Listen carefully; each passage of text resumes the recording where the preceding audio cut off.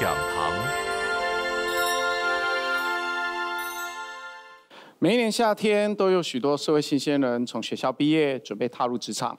职场存在着各种未知的可能和挑战，它令人相当兴奋，但也让人感到焦虑。它其实攸关着未来我们想要过什么样的生活，对于我们的人生发展至关重要。大人学共同创办人姚世豪，今天他将以自身成功的经验来跟我们分享如何找到自己的目标和方向。欢迎姚世豪老师。我们人生啊，从小到大，每个年纪都有每个年纪不同的焦虑。那小时候呢，我们最怕做错事啊，被爸爸妈妈抓到打屁股。然后呢，上了学之后呢，担心成绩不好，被老师打手心。更大一点，我们担心自己啊考不上好学校，交不到男朋友女朋友。然后呢，这样一连串的焦虑啊，好不容易我们从学校离开，长大成人之后啊，我们心里想，哎呀，终于海阔天空了，对不对？我们可以自由自在、独立做自己。结果啊，万万没想到，真正离开了学校，进入了社会，才是真正更多焦虑的开始。大人的世界比小孩子的焦虑要更多，其中有一项就是职涯。各位想想看，我们从二十五岁开始。假设我们进入社会，一直工作到六十五岁，整整四十年的时间，我们都会担心我们的工作能不能继续安定，我们都担心我们的薪水够不够。这个焦虑，甚至从礼拜一到礼拜五，甚至尤其是大家都会有的这个周一忧郁症，一年总共要发生五十次，我们工作四十年，总共要发作两千次。好，我是一个管理顾问。好，我的专长是透过逻辑思考，帮各式各样的企业解决它内部经营的问题。我自己呢，从这个二十多岁啊进入职场，我就突然发现职涯这件事情还真是伤脑筋。所以呢，我打算用我所学，用这种逻辑分析的方式，为我自己的职涯来做诊断。那今天呢，很高兴，我就把我过去这二十多年针对职涯这个焦虑，我是怎么排解的，好，花一点时间来跟大家分享。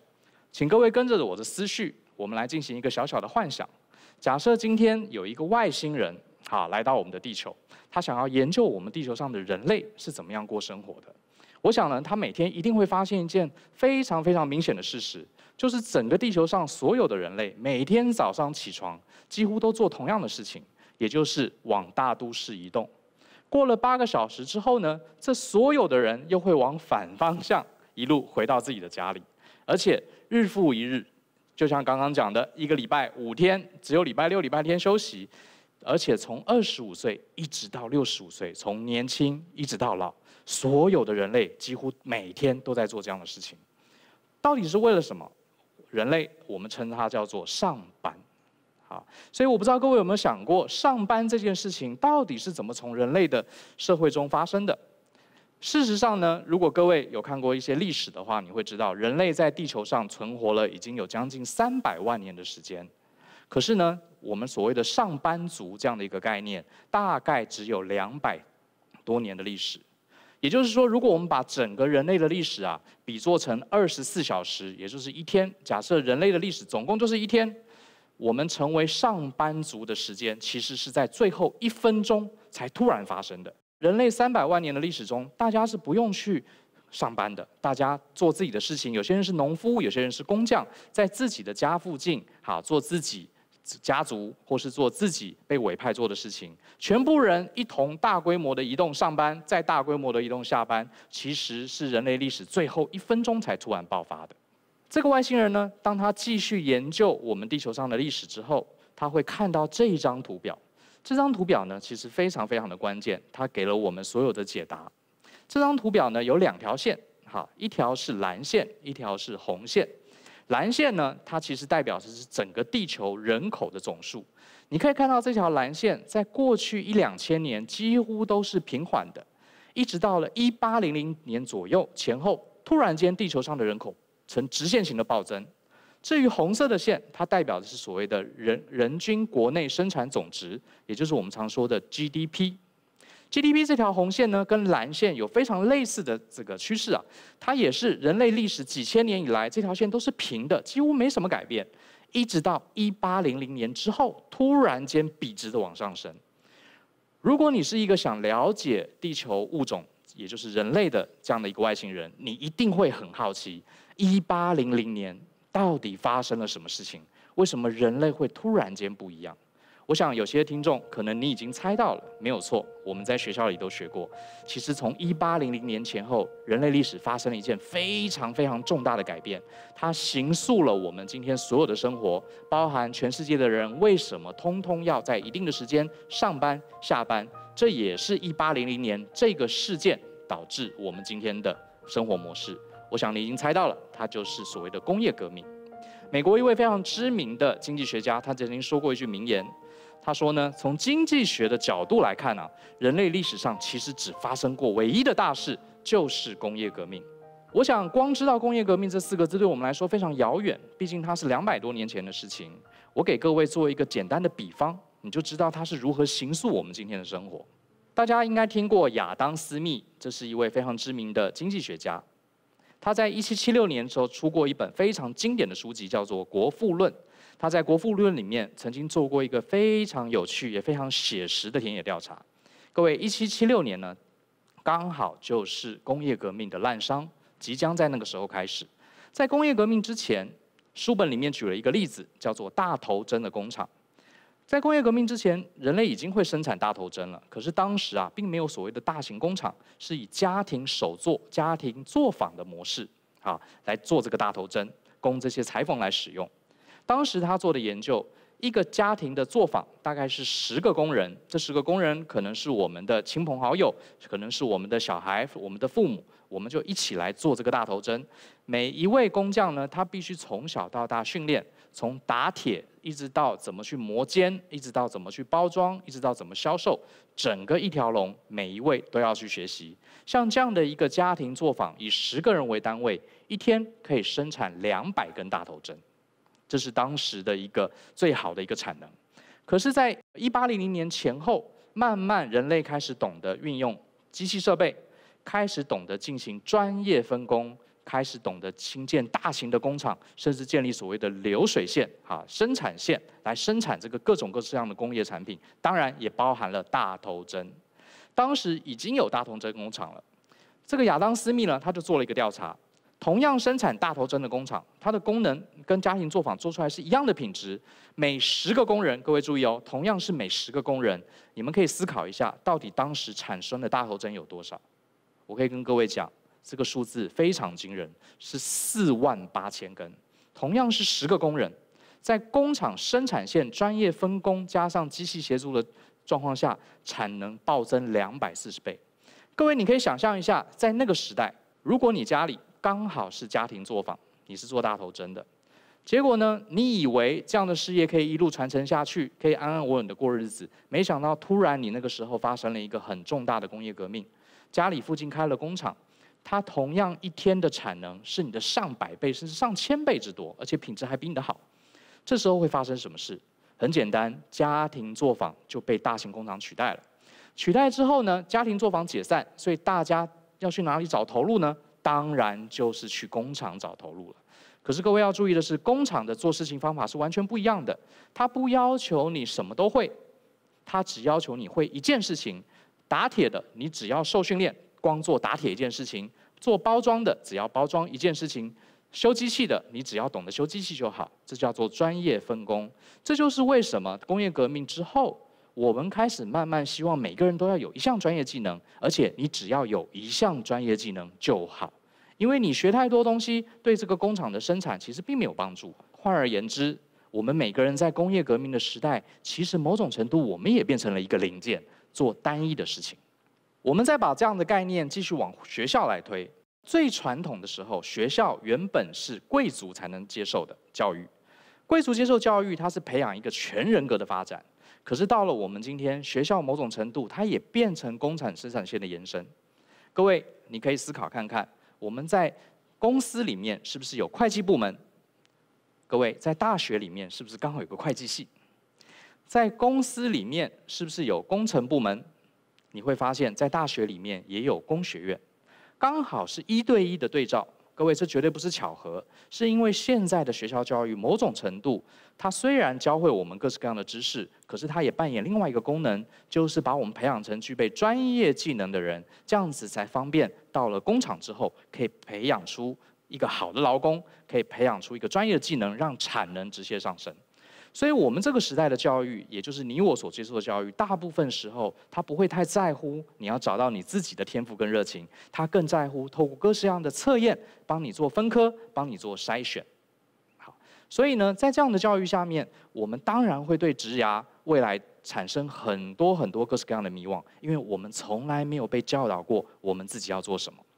同样的。当我们在学校里受了这样的训练之后，我们直接就派发到这个社会上，是工厂也好，是公司也好，我们就一辈子贡献专长，贡献所能。就整体而言，如果我们想要让社会的生产最大化，这是一个最好最好的系统。好，没有错，我们从小就受专业训练，长大之后直接进到工厂，发挥最大的产能。可是问题来了，这个时代它其实不断在巨变中。传统的工业革命的思维，让每一个学生从学生时代开始就培养专业技能，等于把我们当成一个生产线的延伸，成为一个标准的零件。也许有人会说，这样有什么不好呢？像我们父母那一代，好好努力读书，找到一个好的工作，在工作上努力的求表现，一路升到经理，升到总经理，最后安稳的退休，这不是也是一个很单纯而美好的人生吗？对我承认，这是一个很棒的人生。但问题来了。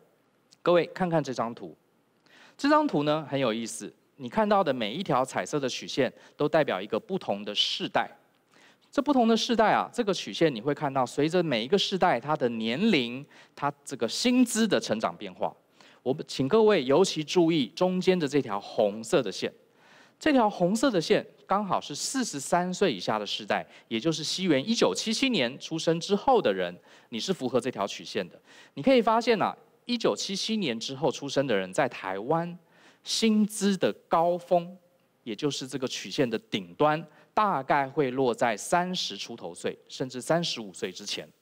他的薪资是四万元台币以下，也就是说啊，我们这个世代的年轻人，其实他面临的焦虑啊，很多人家长说，哎呀，这个年时代年轻人不愿意吃苦，不愿意努力。我认为这个说法其实有欠公允。我们从今天这个研究，你就可以看出，这个世代的年轻人遭遇的真的是前所未有的困境。他们在三十出头岁的时候，薪资已经达到高峰，而且是非常非常低，不到四万块。所以对于职涯，他们当然会产生严重的焦虑。我们回到今天的命题，到底我们为什么对职涯如此焦虑？我的答案很简单，就是因为刚好在这个时代的年轻朋友，他的旧规则，我们父母那一代时代的旧规则，原本好好的，可是刚好到了现在，已经彻底被打破，可是新的规则却还没有建立起来，所以这个时代的年轻人特别容易感到焦虑，因为他没有好的道路可以让他依循。要昭告各位年轻人，你焦虑也没有用，这也不是上一代的错。你唯一该面对的是，你该如何走出自己的路？这是唯一我们可以走出这个焦虑的方法。很多学生常常，尤其是年轻的朋友，二十多岁的、不到三十岁的朋友，常常问我，他对职涯非常焦虑，问问老师，你有什么建议？该怎么走？我自己的经验告诉我，当你心中有一个焦虑的时候，你第一时间会想这个焦，把这个焦虑归零，想把它排除。可是我认为这是非常难做到的。我们也许没有办法把焦虑排除，可是。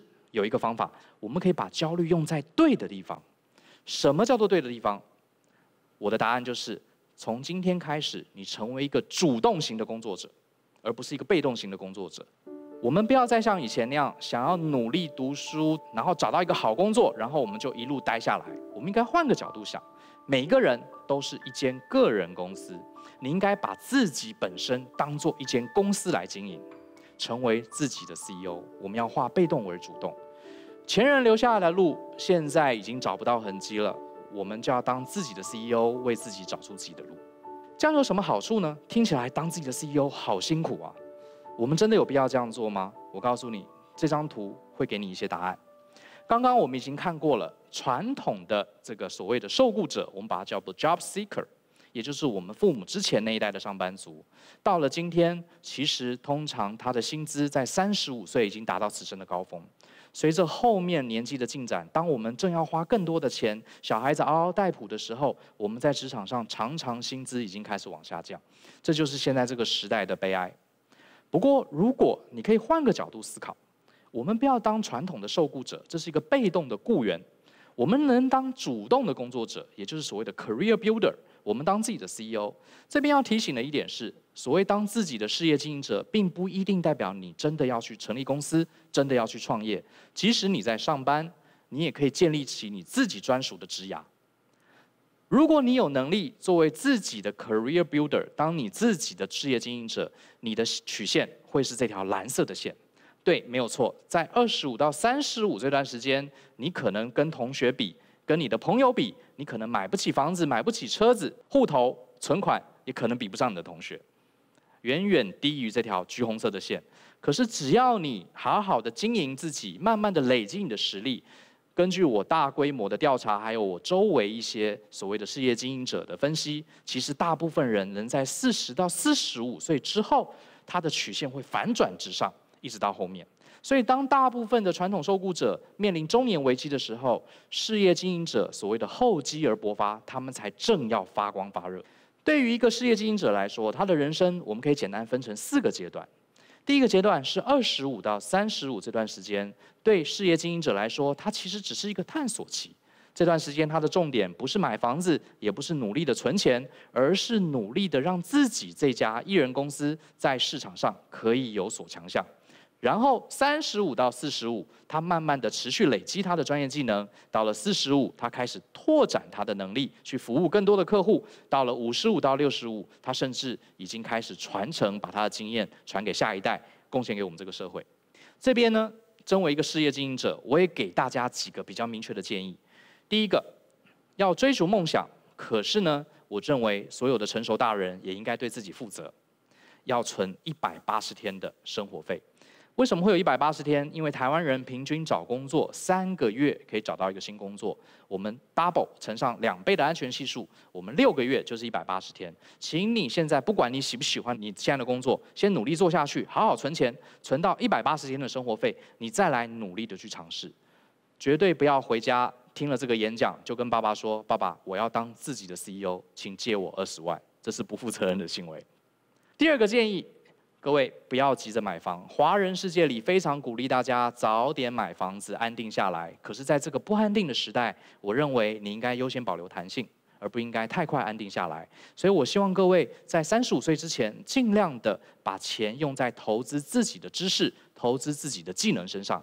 因为当你买了房子之后，你很可能因为担心付不出那几千块的房贷，少了几千块的房贷付不出来，而丧失一个非常好的工作机会。而且我鼓励大家，年轻的时候尽量住在公司的附近，以租屋的方式。为什么呢？你想想看，你每天如果可以减少一个小时的通勤时间，回家大家做做数学，你会发现一整年你几乎可以比你的同才节省一个月的工作时间，这是非常可观的。一年只要每天省一个小时，你整年可以比人家多一个月的时间用来学习、用来工作，这都会是你未来的资产。另外一个建议。请大家在二十五到三十五这段时间呢，每两年，请你设计一个关卡，什么意思呢？我自己是这样做的。我在年轻的时候，每进一家公司，一开始我都会给自己设定，两年之后我就要离开这家公司。不管这家公司再好，薪资待遇再高，里面的老板对我再好，我都设定两年我就要离开，除非两年之后公司给我新的职位、新的挑战。我才会继续考虑待下来，否则我就当做两年。这样的方式是给自己一个时间上的压迫，你就会知道每两年你一定要赶快在这两年累积一些成就，在这两年认识一些人，在这两年培养一些技能。各位，你想想看，两年差不多是念一个硕士的时间，我们每两年当做拿一个硕士学位。你二十五到三十五岁，如果你努力的工作这十年，你等于比人家多了五个硕士学位。那我想你在中年之后，你的发展绝对是无可限量的。再来，心流体验是我们自己常常要觉察的。什么叫做心流体验？心理学家近年来有一个很重大的发现，他发现，在工作上、在音乐、在艺术、在各个领域里面表现特别突出的人，常常进入所谓的心流体验。很多人都有这样的经验。你在做某件事情的时候，你突然间非常的专注，你沉浸其中，你忘了时间，甚至忘了肚子饿，一下子两三个小时过去，你才惊觉你已经花了这么多时间在这上面。这里面没有人逼你，甚至没有人付你钱，你还乐在其中，这叫做心流体验。而且通常进入心流体验的人，他迟早会成为这个领域的专家。我建议大家每天把你自己从早到晚你做的工作拆解成一个一个的小任务，这些任务你给他打个分数，哪些小任务你很喜欢，哪些小任务你不喜欢，哪些小任务是介在中间没什么感觉。你长久以来做出这样的一个表单，慢慢你就会知道有哪些小任务你是特别感兴趣、特别容易进入心流体验。然后你再反观你周围的同事或是你的朋友，哪些人的工作里面有更多的小任务是你喜欢的？也许这就是你下一个两年该去追求的职业方向。另外一个数字是二，也就是呢，请你在每一份工作里面尽量努力的去认识周围的人。有一个社群网站的研究告诉我们，我们人一辈子啊。能赚到的钱，我们的财富刚好就是我们身边十个最亲近的朋友、家人的平均值。这就是同温层效应。如果你希望你的自己的财富也好，或是无形的知识，或是你的眼界跟格局能越来越开放，那你周围是什么样的人就变得非常重要。请你尽量多去认识人。而且在认识人的过程中，不是只是吃饭聊天喝酒，也要多了解、多聊聊彼此之间对知识、对学问的追求，还有价值观。更重要的是，如果你能从中找到一位到两位，好，他在某个领域能成为你的专业偶像，那你一定要常常跟他请益。我们刚刚讲了，既然我们希望大家都要做自己的 CEO，把自己当做一个个人的事业来经营，那既然是一个专业经理人，他一定会有财务报表。一定会有自己的经营计划，所以你也要为自己建立这样的一个职涯进度追踪表。这张表呢，是我从二十几岁开始，我就努力为自己建立起来的。你现在看到的是一个范例，我们可以看到横轴它刚好每两年是一个栏位，二十五岁到二十七岁，二十七岁到二十九岁，所以每一个阶段都是一个关卡。每一个关卡，我在哪些公司待过？这家公司是大型、中型还是小型公司？它是什么产业？我在里面扮演什么样的角色？还有呢，最重要的是这两年里面，我认识了哪些专业的偶像？我学到了什么技能？我为这家公司贡献了什么样的成果？更重要的是，我在这过程中哪些任务常常让我产生心流体验？我基本上是每一个月会给自己反省一次，就像是你经营公司每个月都要检讨一下你的财务报表是一样的状况。每两年换一份工作，你就会越换越好，越好，而且在这十年间，你就会达到非常精准的累积。希望各位把这个表单好好的实践在你个人事业的经营上。面对这个多变的时代，我们没有人能清楚的掌握未来，所以当然会产生各式各样的焦虑，这是正常的。但是我一直相信，逻辑思考是一个我们现代人非常有力的工具。只要我们好好运用思考的能力，一定有方法找到我们人生的定位，也找到我们未来职涯的方向。我是姚世豪，希望你跟我一起相信思考，勇于改变。谢谢。面对职涯规划，我们不只是为了工作而工作，而是应该把自己当成品牌来经营。社会新鲜人在踏入职场后的前五年是探索兴趣与培养专长的准备阶段。透过姚世豪老师的经验分享，希望每一位社会新鲜人都可以在这一场开放的游戏当中，找到未来四十年的人生主导权。感谢姚世豪老师的分享，人文讲堂，我们下次见。